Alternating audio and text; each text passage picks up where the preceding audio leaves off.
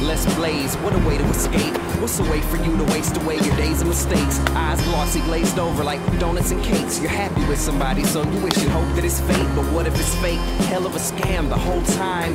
All for the pie, you know, key lime. If it all ended today, at least you tried. It was a nice ride. Time to go inside yourself and take a look at the person and how it's hurting. Like, how could somebody love you for years and then What's the whole purpose? Experience and learning. Exterior is strong, but inside you're certainly burning.